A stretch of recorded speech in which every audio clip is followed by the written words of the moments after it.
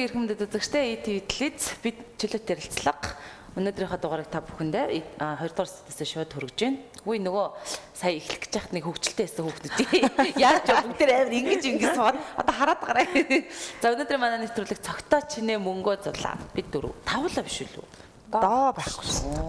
Доо өөрчлөлт хийх гэсэн. Шууд ингээд ажлынхаа байран дээр тэр тасалсан басалсан. Эрдэд таваас дөрөв доо тасалсан. Чөтө чөшүүл аваагүй үсттэй. Найруулагч байгаа. Тэгмэл тас. Зүгээрээ тэрийг бас ойлгох шалтгаан байгаа өөрчлөлт хийх гэсэн гэдэг нь шүү дээ. За өнөөдрийн сэдв чинь Өөрчлөлт. өөрчлөлтийг өөрчлөлт хийхийг хүсэж байна уу? Тий, ер нь бол тийм. Өөрийнхөө өөрчлөлт өөрийгөө өөрчлөх хүсэл. Өнөөдөр манай сэдв шүү өнөөдөр. Тэ? За сонь сайн яцхан залуучуудаа За цогтоогоор. цогтоос эхлэе. Цогтоо маш том өөрчлөлт. Манай цогтоод орсон байж байгаа тий. Өндөр бүр асууад байгаа шүү. Би бүр диско асуусан шүү дээ. Чи тэгээд цахлаа оруулахаар яг бүр шийтсэн үү гэж игээд айгүй ажил болгож орж асуулаа. Яг нэг цаалчаа бас нөгөө яг өөрчлөлтийн бас нэг эхлэл л Аа. Би нөгөө бас орж ирэнгүү. 20 жил яг нэг царайтайгаа явж байгаа одоо нэг жоохон Ямар ойлгох Би баг 20 жил ийм үстэй явсан. Тэгэхээр чи би хэзээ нэгэн цаг урт тустай байсан гэсэн үг үстэй. Тэгэхээр чи миний нас бараг гараад ирж байгаа юм шиг. тэгээ өөрчлөгдөж одоо оргож. За тэр жагаа. Сайн сайхан жавтай ямар ч мэддээгээ хийгээд дуусчаад ороод ирлээ. Өнөөдөр тэгээд нэг мэддээнийхаа дундуур бас нэг юм санаг хэлье гэж бодоод би илаа. Одоо нөгөө нэг нийслэл хот руу ингээл төвлөрлөөд байгаа хүмүүс аягүй ирж байгаа шүү дээ. Орон нутгаас ирээд хотод ирчингүүд шууд бэлэн орохоор нь юу байдаг лээ ч юм уу. Тийм шүү дээ тий. Тэгээд ирэнгүүт нөгөө нэг одоо хаа хамаагүй газар очиод буучдаг. Буучдаг. байдаг. Өнөөдөр яг энийг хэлхийг хүссэн. Өнөөдөр би нөгөө нэг Баян зүрхийн тэр 21 дэх хорон нэг сэлб дагуу байдаг айлууд руу очиж үзлээ л дээ. Яг ингээд бүтэн том байшингийн цонхон бараг далд ортлоо ингээд мөсөнд хучигдсан тий. Амар өс тий. Тийм тохиолдлууд айгүйх байна. Нөгөө нэг гол хайлаад ирэхээр Тэнгүүд нөгөө судлаад үзсэнгүү тэр айлууд нь дандаа юу гэдэг зөвшөөрөлгүй байдаг хорооноос нь одоо ийм гол ойр орчинд байж болохгүй нүү гэдэг те. Тэнгүүд нь өөр очих газар байхгүй гэж тэндээ амьдардаг. Одоо тэгэл айлууд нь шууд нөгөө байшин, хашаа, машаа, гэр мөрөө бүгдийг хаяал нүгөө явцсан байлаа. Яг нэг гурван гудамжийн дунд ингээд ямар ч нэг орхигдсон хотод ирсэн юм шиг ингээд тэр чигтээ өгөөсөө бүх юм хөлдсөн юу ч авах боломж байхгүй. Бараг тэгэл аян янууд нь ингээд битүү ингээд хөлдөөлд юм ингээд хөлдсөн. Тийм дур зурагтай байлдыг энийг харж агаад бас яг амьдарж байгаа тэднийг бас нэг талаас буруу биш л байна л та. Гэхдээ яг хаана буух уу эргээд өөснөө эд хөрөнгө өрөөж юм хохирохгүй байх талаас нь бас бодхон зөв юм болов гэж бодчихлаа. Өнөөдрийн хувьд бол ийм сайн сайн. Дид бүтцтэйгээ хөгжил гэдэг шиг тэд нар нөгөө нэг ямар ч төлөвлөгдөөгөө дид бүтцгүй газар очиж байгаа байхгүй тий. Тэгэхээр нөгөө цахилгаан дуудлагаан бүх юмнасаа ураалслагдмал Дураараа ш. ялангуяа яаж хийж хагаад нөгөө хороо орны үйлчлэгээ одоо имлэг юу гэнэ хаяг жилт байхгүй юм чинь бүр тий. Энийг л өөрчлөмөр байна. Дураараа.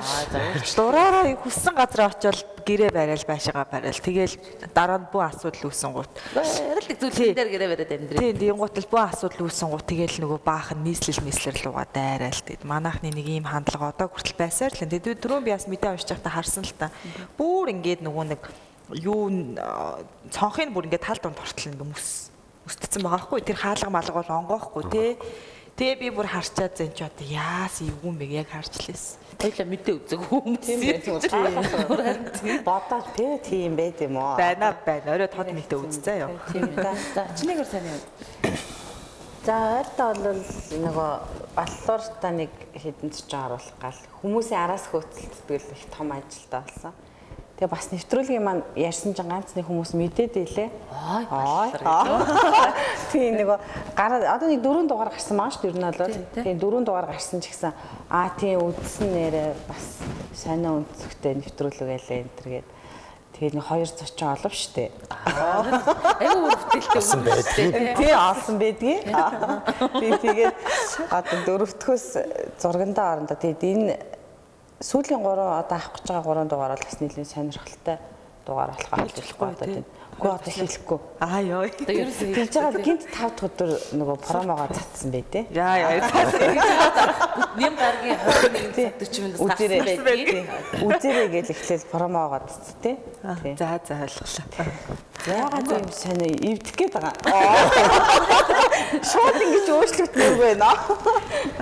Надаар өнөөдөр 50 байлоо. Тэгээд өнөөдөр ер нь би нэг ийм юм их буруу ойлгож явсан юм байна. Манай нийслэл хотынхан их оройтдаг бүх юм их оройтж эхэлдэг гэж би бодож явдаг байсан юм өнөөдрийн хүртэл. Гэж бүх юм өөрчлөгдсөн юм байна. Яасан бэ гэхээр би өнөөдөр эрт босоод нилээ эрт нөгөө нэг юм ажил юмд явах байсан. Тэгээ гараа явсан чинь замын бүглэрэл чинь бүр бүр ингээд хагцсан байд юм бэ. Хэдэн цагаас эхэлж байна? Тэр бараг 7 цагаас эхэлж ах шиг байна. Тэгээ би уг нь айгу тооцоолохгүй. За эн чинь өглөө ол ер нь замын төвчрэл их бага учраас би их нөгөө зорсон газараа хурдан очино гэсэн чи юу ээ бүр 10 минут бараг хоцроод очиж байгаа байхгүй.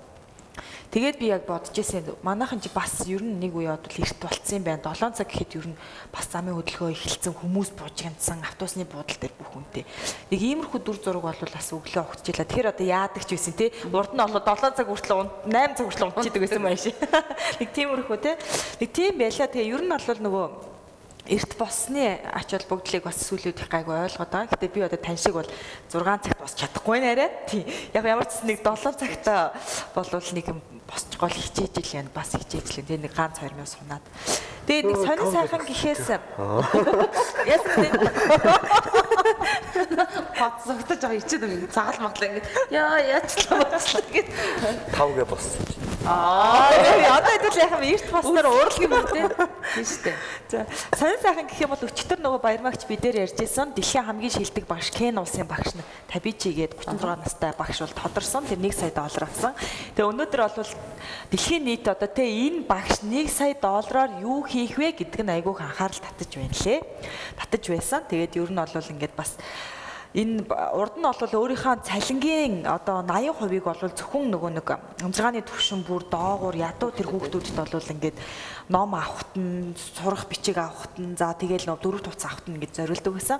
Тэгээ энэ удаад өөрөө хэлсэн байлээ юун зориулах вэ гэсэн чинь сургуульдаа нөгөө нэг лаборатори байгуулна. Энэ шинжлэх ухааны лаборатори байгуулах юм байна. За дээрэс нь юу юм бэ? Компьютерийн бүр тийм анги танхим байгуулна гэж хэлээ лаборатори тийм. Бисэл хүн л дээ. Тий аа ёо мэдсэн.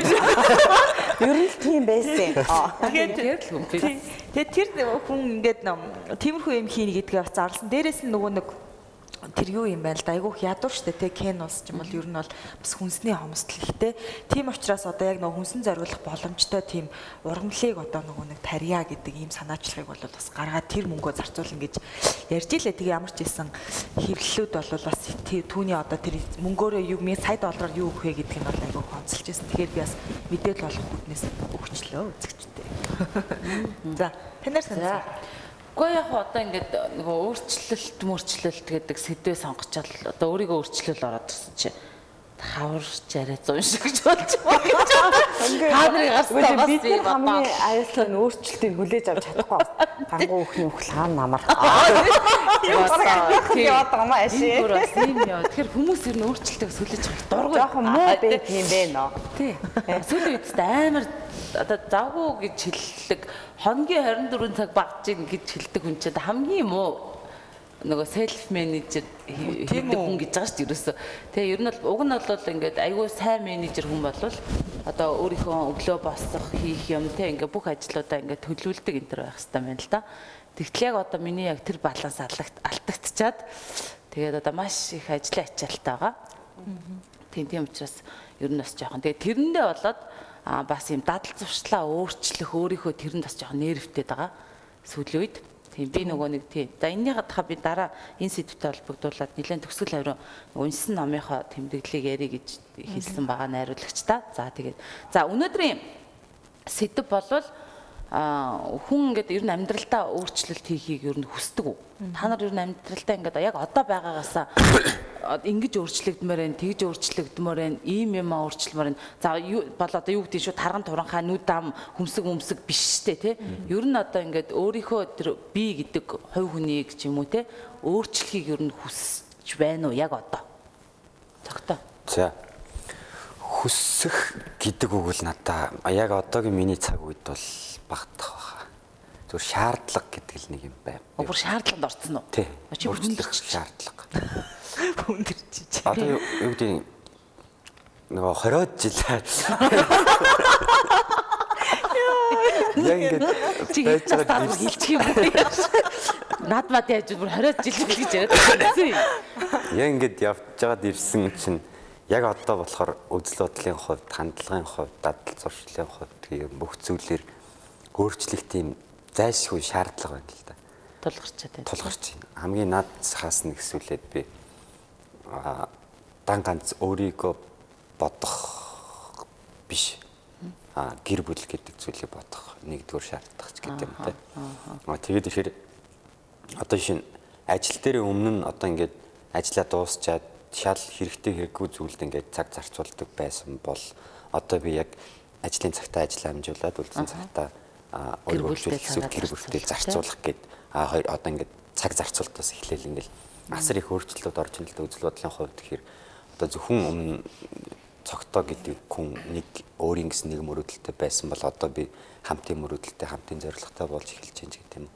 А тэгвэл зөвхөн өөрөө л одоо ингээд өмсөх хувцастай ч юм уу хоолтой ингээд байдаг байсан байлаа гэж бодоход одоо би шал өөр өөр хариуцлагыг хүлээх шаардлагатай болж байна. Ингээд ирэхээр өөрчлөлт гэдэг зүйл маань яг надад нөгөө хүслээр биш шаардлагаар ирж байгаа зүйл болчиход л байна л да. Тэгээ яг өөрчлөлтийг яг хийж эхэлж чинь эхэлж байна. Гэхдээ нэг юм том алхам хийгээгүй. Ямар ч тач бол яг юуг өөрчлөх ёстой вэ гэдгийг бол одоохондоо мэдсэн байна. Аа. Тэгэхээр бас энэ эхлэл болов гэж бодоод. Тэгээд өөрчлөлт зүгээр хариуцлаган дээрээ тулж ирсэн биз дээ тий. Тэгээд хариуцлага чи эргүүлээд үр дүнгээ шаардаад эхэлж байгаа. Тэр байдал дээр л байгаа юм л да. За чинээ. Цогтоо одоохондоо нөгөө шинхэн санхон дээрээ байгаа болохоор бүр мөрөөдлө хүртэл нэгтгэсэн явж байгаа.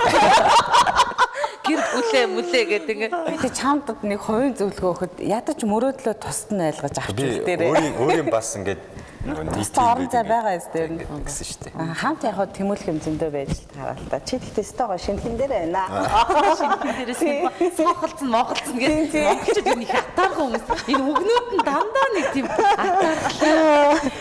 Өөрчлөлт хүлээж авч чадахгүй чадахгүй тий. Хуучирсан хүн яасан блэ? Аа, Хуучсан хүнд бас би одоо тэдэд жил Үнэнгээр хэлээч.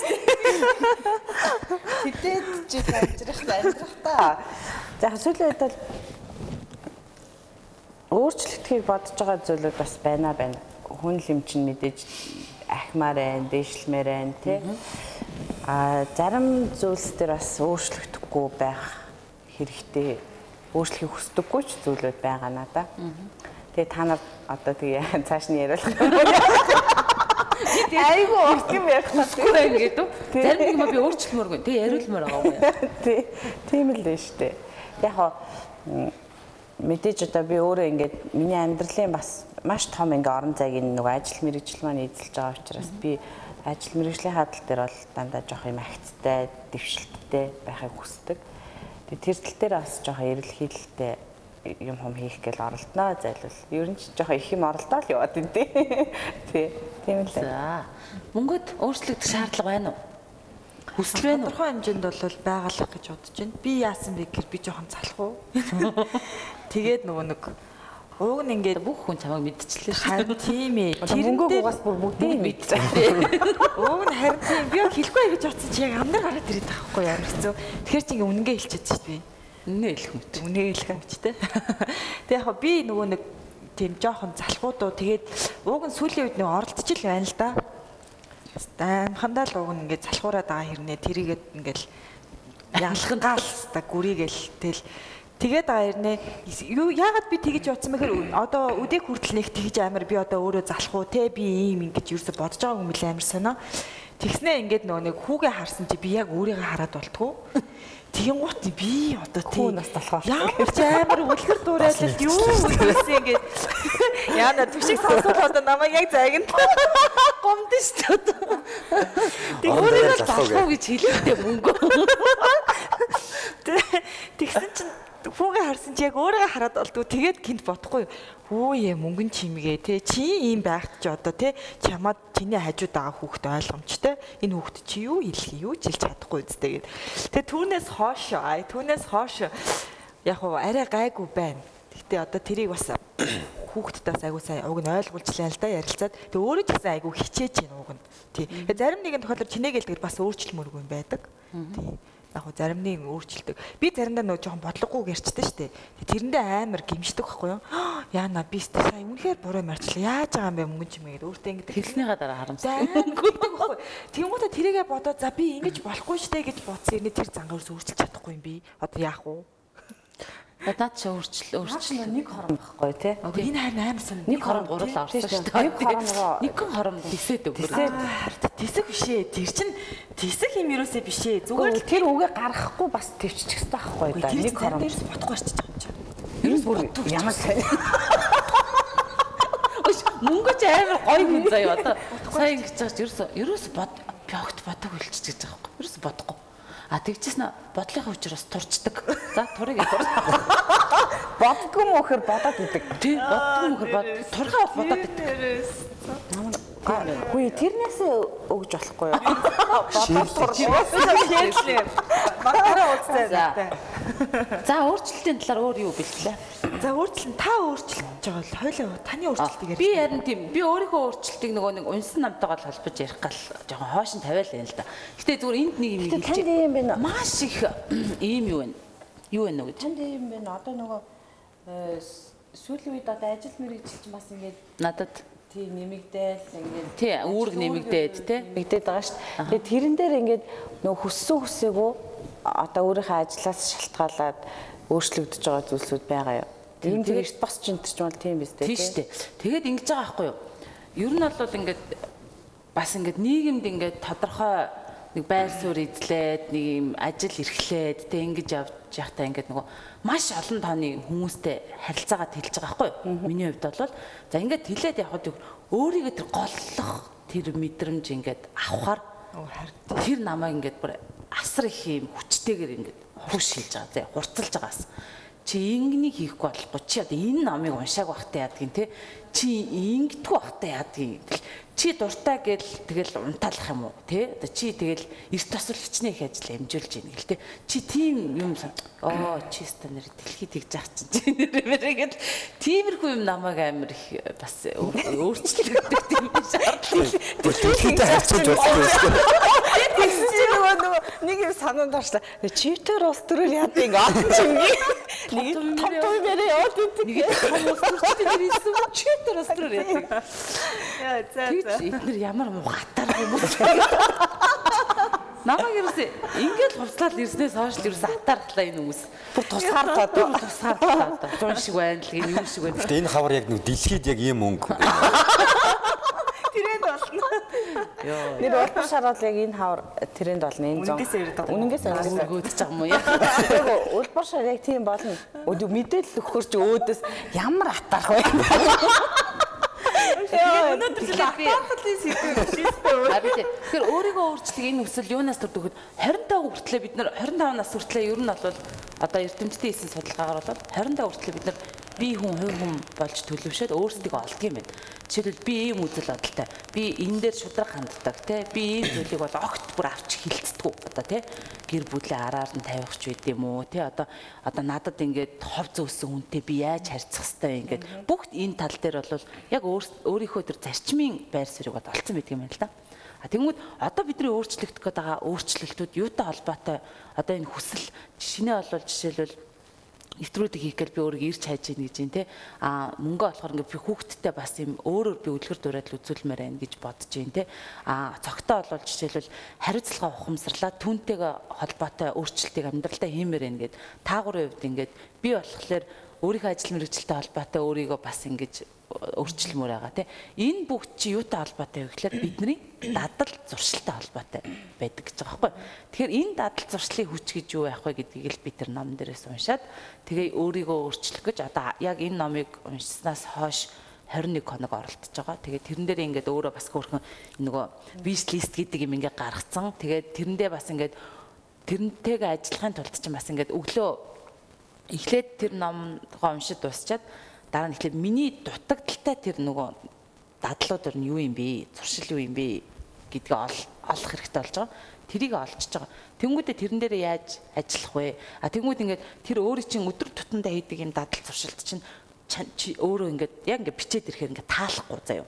Жишээлбэл уцаараа 30 минут оролтцсон тий фейсбુકт ингээд сошиал ертөнцид ингээл одоо нэг өөрөө мдэггүй байтал ингээл цаг орцсон тий? ингээл сонины шал одоо хэрэггүй нийтл мэтэл дээр ингээл цувруулад ингээ уншаад ахаад нэг цагийг үрцэн тэгснэ зүгээр л нэг 10 минут кофе уучаад чинь аяга барайл хідэн өрөөгөр ороод хідэн цаг ингээ яриа явцсан ч гэдэм үү тий? Тэгснэ нэг уулзалтаа дуусгаад гарахын оронд дараагийн уулзалтанд ингээ шал ач холбогдолгүй уулзалтанд ингээ цаг үрцэн ч гэдэм үү те маш олон юм тэгээ төлөвлөөгүй ажиллаа дундуур нь гинт санангуудаа хийж мийцэн гэд өөрт чинь маш их таалагдаагүй тийм олон одоо дадал зуршлууд чинь гарч ирнэ Тэнгүүд яг тэрэн дээр л ажиллаж ирэх хэрэгтэй юм билээ л те. Тэгэхээр энэ дээр яг хэрхэн системтэй дадал зуршлаа өөрчлөх вэ гэдгийг энэ номынхаа тухай ярихаараа би ярих гэдэг байгаа байхгүй. За тэгээд юу яа нэвтрүүлгийнхаа ихэнд ер нь бол ихэнд дундаар завч те. Ер нь хүн яагаад өөрчлөгдөх ёстой юм бэ гэдгийг одоо нэг юм 10 асуулт 10 хүрэхгүй маа. За ер нь 10 асуулт юм байна. Нэг юм 10 асуултыг тавьдаг юм байна л да. Хэрвээ эдгээр асуултанд за манай найруулагчд дэлгэцэн дээр хүчих байх энэ 10 асуултыг би тэгээд Та нар ч гэсэн сонсч одоо би уншаад үгүй. Одоо үзэгчд ч гэсэн унш те. Яг үнэ. Яг үнэ та одоо өнөөдөр ингээд яг өөрчлөгдөх ёстой юу үгүй юу?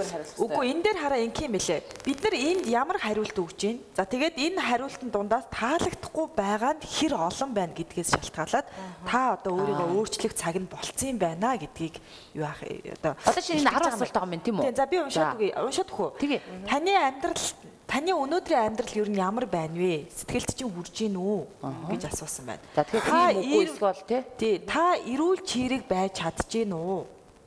Танд ирч хүч байна уу? Та өөрөө өөртөө мөрдөх дүрм журмыг гаргаснаа. За тэр нь болохоор өдөрт одоо хідэн цаг зурагт үзэх хэвээр хідэн цаг одоо тэр ном унших хэвээр мөнгөө ер нь юунд үрж байгаа юм хаашаагаа явж байгаа гэх мэтчлэн те энэ зүйлүүдийг бол тодорхойлцсон байх хэвээр. Тэгээд дээрэс нь таны одоо санхүүгийн байдал ер нь хэр найдвартай байна? Аюултай байна уу, аюулгүй байна уу гэдгийг тооцоолох хэрэгтэй байна. Тэнгуудаа танд өөрийн гэсэн тийм нэр хүнд гэж ер нь юм байгаа юу? Тэ? За. Нөгөөх нь та өөрөөрөө ер нь байж чаддаг уу? Хаанч очисон өөрөөрөө байж чаддаг уу? Та өөрийгөө байгаагаар нь хүлээн зөвшөөрч байгаа юу? За. Гэр бүлийнхэндээ харьцах харьцаа чи ер нь хэр байна вэ? Одоо тий? Хүмүүстэй ер нь яаж хандж байна? Одоо тий бухимдалтай байна уу яасан ийсэн гэдэг тий. За та бусдад болон өөрөө өөртөө худлаа ярьдаг уу? Юу нь ярьж ийсэн үү? Нэг өөрийгөө хуурж мурдаг штэ тий. Өөрийгөө одоо тий хуурсан уу? Эсвэл бас бусдад худлаа ярьж ийсэн үү? Та бусдаас болон өөрөөсөө юм нууж ийсэн үү? За. За таны хувийн амж та одоо тий хувийн амжилт гаргаж ийсэн үү? За. Та хэлсэн амдаа хүрч чаддаг уу?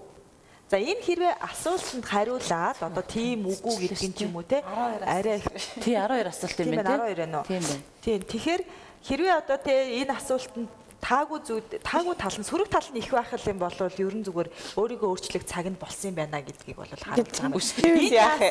Бид хоёр ингээд бүр арцаад хоёлоо тэнцчээ сууж байгаа. Би энэ дээр нөгөө тим одоо эрэг талаа тий энэ талаа болохоор тааламжгүй эрэг бишээ ингээ хийсэн баггүй. За ивчлээ тий. Тэгсэн чинь энэ яасан бэ гэхээр энэ нөгөө нэг юм юм бэ. Сошиал ер нь уука гэдэг нэрээр тийм од болсон хүн. Энэ яасдаг вэ гэхээр ер нь хүнийг нөгөө өөрөө өөртөө одоо өөрөө өөрийгөө хэрхэн өөрчлөх үү, өөртөө хэр ихтгэлтэй байх уу, өөрийгөө одоо яаж удирдах уу, стрессээ хэрхэн тайлах уу гэх мэтчлэн сэтгэл зүйн одоо зөвлөгөөнүүдийг өгдөг одоо энэ хүний зөвлөгөө байгаа байхгүй юу. Тэгээд энэ хүн ингэсэн Ерөөсөө л одоо өөрчлөгдөж байгаа бол ерөөсөө гурав эхний одоо гурван алхмыг л зөрөгтэй хий. А энэ гурван алхмыг хийсэн цагт та өөрчлөгдөж чаднаа. Одоо битээ сэтгэлээр унаарэ гэж байгаа. А тэгээд түрүү яг би таны яс ярьсыг сонслоо л да ер нь нөгөө дадал гэдэг муу дадал гэдэг имийг бол тэгээд энэ хүн болохоор өөрийнхөө амьдрал дээр туршсан тэр гурван одоо алхмаа бол ингээд танилцуулсан байгаа юм. Тийм. Тэгээ хэдүүлээс дэлгэрэнгүй мэдээллийг үзчихв. Тэгээ. Тий. За тэгээ.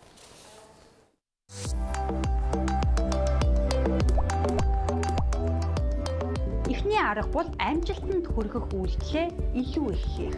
Жишээлбэл та 7 хоногт өөрийгөө хөгжүүлэх, мэрэгчлээ дэвшлүүлэх ном нэг удаа уншдаг байлаа гэж бодоход энэ тоогоо нэмэгдүүлж өдөр болгон 30 минут өөрийгөө хөгжүүлэх, мэрэгчлээ дэвшлүүлэх ном унших жишээ. Хэрвээ та сургалт семинарт огт хамрагддаггүй, эсвэл хаяа нэг хамрагддаг бол энэ тоогоо нэмэгдүүлэх жишээтэй. Хоёр дахь арга юу вэ гэвэл амжилтаас хойш татах үйлдэлээ багасгах эсвэл бүр мөсөн таслан зогсоох. Жишээлбэл та телевизээр их үздэг бол телевизээр үздэг цагаа хасах эсвэл бүр мөсөн үзэхээ зогсоох. Хэрвээ та интернет дээр илүү их суудаг бол хэрвээ та найз нөхөдтэйгээ утсаар хийд юм ярьдаг бол энэ цагаа багасгах жишээтэй. Хэрвээ та өдөр болгон хийдэг үйлдэлүүдэд бүртгэж үзээд амжилт өөдөө чиглүүлдэг ямар нэгэн үйлдэл огт хийдгүү бол гуравт гарга танд туслана. Энэ гуравт арга бол урд өмнө хийж үзээгүй цоо шин юмыг хийж эхлэх. Урд өмнө хүрч үзээгүй амжилтанд хүрэхийн тулд бид урд өмнө хийж үзээгүй зүйлийг хийж үзэх хэрэгтэй болдог. Тийм учраас та өнөөдөр урд өмнө хийж үзээгүй яг юу хийж эхлэх вэ? Жишээлбэл шин шин чадварууд эзэмшиж эхлэх, шин юм суралцаж эхлэх, шин хүмүүстэй танилцаж эхлэх, өөрийгөө хөгжүүлэх, ном уншиж эхлэх, сургалт семинар хамрагдаг жишээтэй. Энэ арга надад маш их тус болсон. Би урд нь өөрийнхөө өдөр тутмын хийдэг үйлдэлүүдээ бүртгэж үзэхэд өөрийгөө амжилтанд хүрэхэх үйлдэл хийдгүүгээ мэдэж авсан. Өглөө босоод л ажилдаа яваал эргэж ирээл телевизээр үзэл хоолоо идээд л интернет дээр суугаал утсаар яриад өнгөрөөдөг. Маргааш нь түүнийгээ давтаж хийн нөгөөдөр түүнийгээ давтаж хийдэг байсныгаа мэдэж авсан. Тийм учраас би урд нь огт хийж үзээгүй зүйлээ хийж эхлэх шийдвэр гаргаж хийж эхэлсэн. Энэ нь юу байсан байггүй бол 7 хоногт 3 удаад бие тамир спортоор хичээлэх, өдөр болгон 30 минут өөрийгөө хөгжүүлэх ном уншиж эхлэх байсан. Тэгээд үүнийг хийж эхэлснээр миний амьдрал гайхамшигтайгаар өөрчлөж эхэлсэн.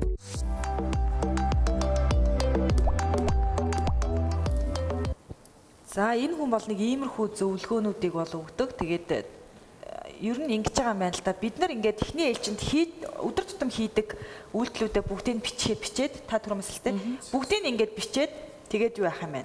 Бичингуудаа одоо аль үйлдэл нь таны амжилтаас хоош нь татж байгаа вэ гэдэг дээр анализ хийн. Ер нь тэр юм биш үү? Тий. Аа тэгэнгუутаа аль үйлдэл таныг одоо амжилтанд илүү хөтлж байгаа вэ гэдэг дээр бас анализ хийх хэрэгтэй.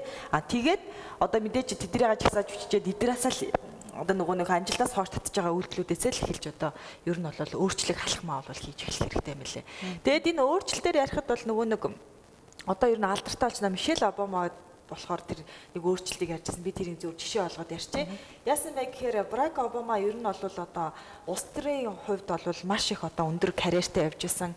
Тэгээ сенат болоод дээрээшээ бүр одоо тэг их сенат том одоо тэр хурдл руу ингээл ордог болол ерөөхдөгчд ингээл сонгох э, нэр дэвшгээл ингээл яг ингээд улс төрийн карьер нь эд ингээд идэвхтэй хөгжиж явах одоо явж юу яаж явах хөгжиж явах үед Мишель Обама хүүхдээ гаргацсан гэртээ тэгээд ер нь бол гэрийнхаа бүх ажлыг хийдэг, ажилдаа ч явдаг ингээл яг одоо Монгол эзэгтэй нарын хийдэг бүх юмыг хийдэг байжгаад амар их бухимддаг байсан байна л да. Тэгэл нөө Барак Обамаар айгүй хууралдаг.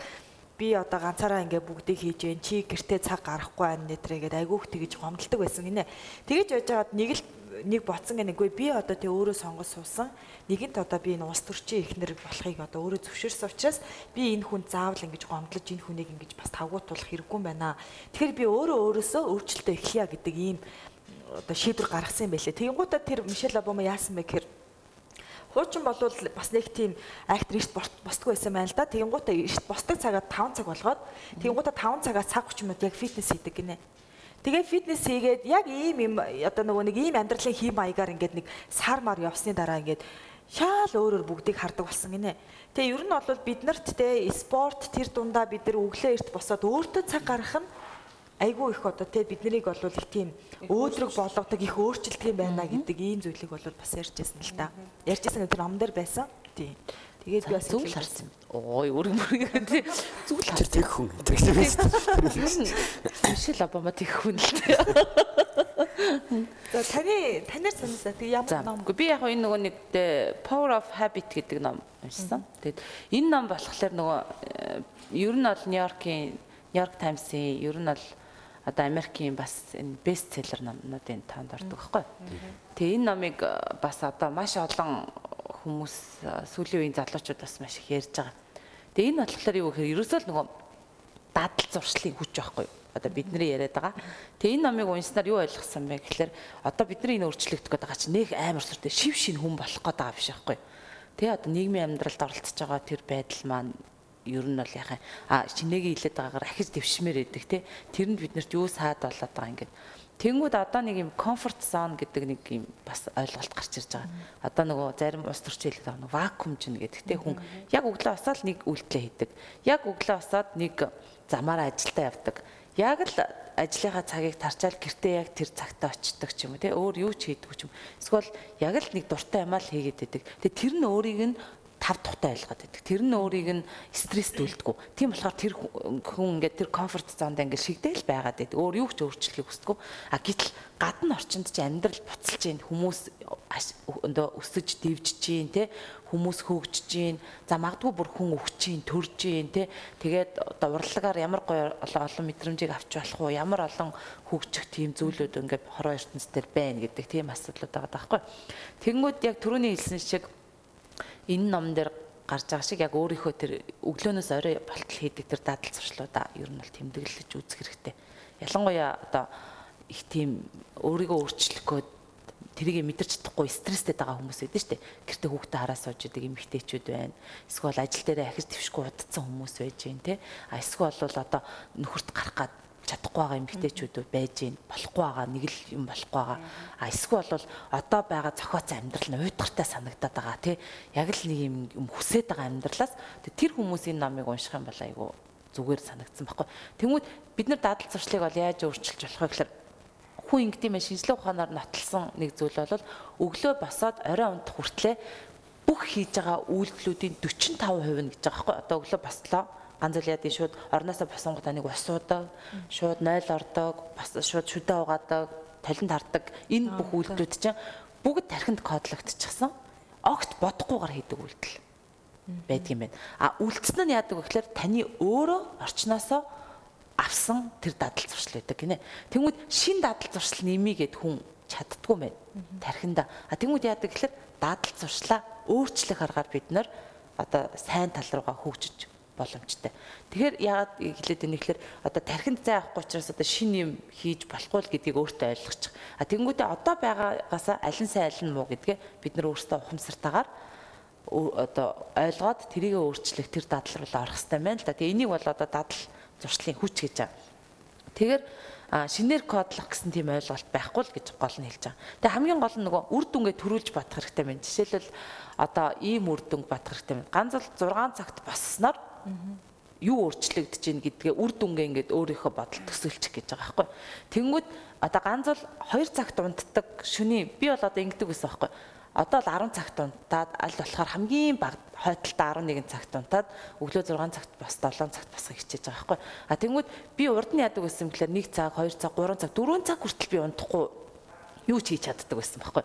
А гэтэл 10 цагаас хойш угаасаа амьдралын хэв маяг бусад хүмүүстэй харилцаж байгаа харилцаанд чинь ямар ч ахиц гардгүй юм байна л да. 10 цагаас хойш хүн дандаа хов ярина, тэ утсаар ярьсан ч гэсэн арай өөр төвшний юм ярина. 10 цагаас хойш интернетэд авч байгаа чиний мэдээлэл дандаа өөр байна, тэ. Тэгээд одоо хүнтэй ажил ярина гэж бол хизээч байхгүй.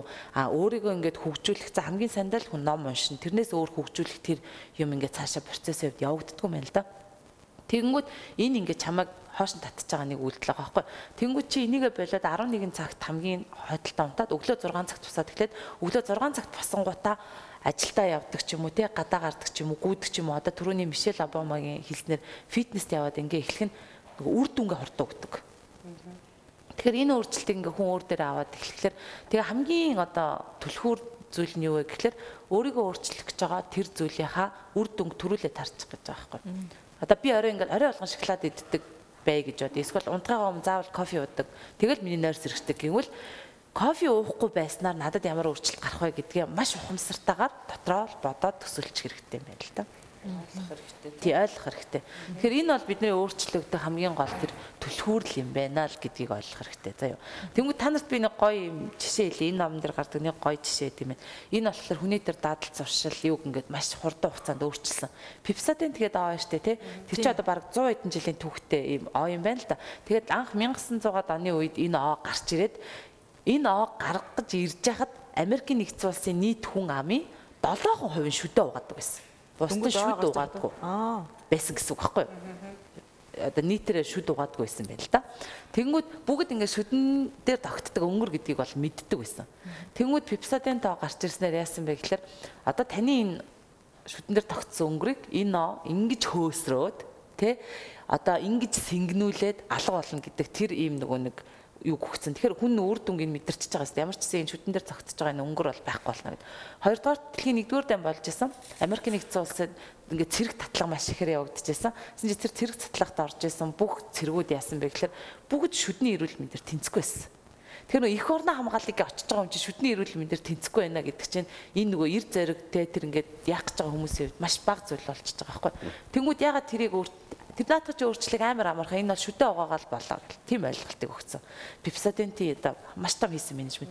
Тэгээд Pepsodent компани 5 жилийн дотор дэлхийн хамгийн хамгийн өндөр борлуулалттай бүтээгдэхүүн болсон гэж байгаа байхгүй. Тэнгүүд энэ нь юу вэ гэхээр хүн өглөө босоод шүдэ угаачингууд бүтэн өдрийн турш тэр өнгөр орой болтол ингээд тогтохгүй эсвэл болвол те тэр хүнд ингээд нэг эрүүл гэдэг тийм сайхан мэдрэмжийг тэр үедээ төрүүлж чадсан байна л да. Тэнгүүд энэ хүн шүдэ угаах гэдэг чинь өдөржингөө юм байдаг үр дүнг мэдэрсэн учраас өглөө насаа шүдэ угаадаг.